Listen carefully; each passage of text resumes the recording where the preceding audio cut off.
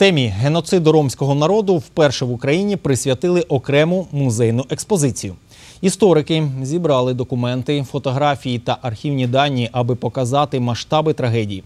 За часи Другої світової війни у Європі нацисти фізично знищили близько півмільйона представників цієї етнічної групи. Роми були об'єктом тотального терору на рівні з єврейським народом. Документи для постійної експозиції, яка відкрилася у Минорі в музеї Голокосту, збирали по родинах ромів та в усіх архівах світу, зокрема в Німеччині.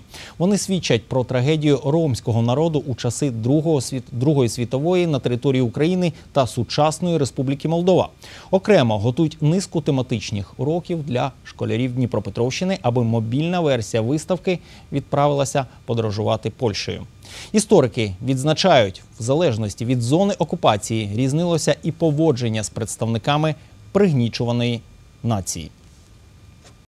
Дніпропетровський, Дніпропетровський регіон входили до складу так званого рейскомісаріату України. В рейскомісаріаті України е, застосовувався тотальний терор, який полягав в масових розстрілах ромів.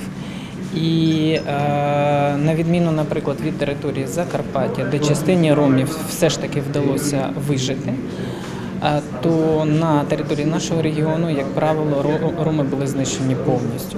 Більше того, і у ромів, і у євреїв, як правило, виходило одне місце смерті.